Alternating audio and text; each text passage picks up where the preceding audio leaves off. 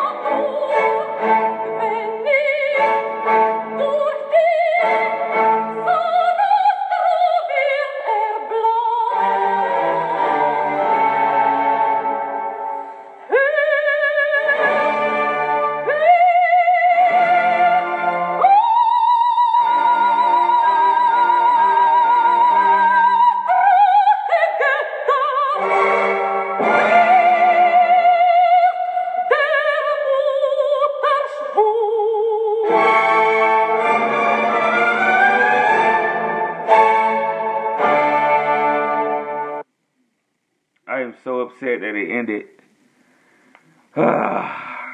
Once I get caught up into something, I'm into it. And then this one just ended so fast. That that's heartbreaking right there.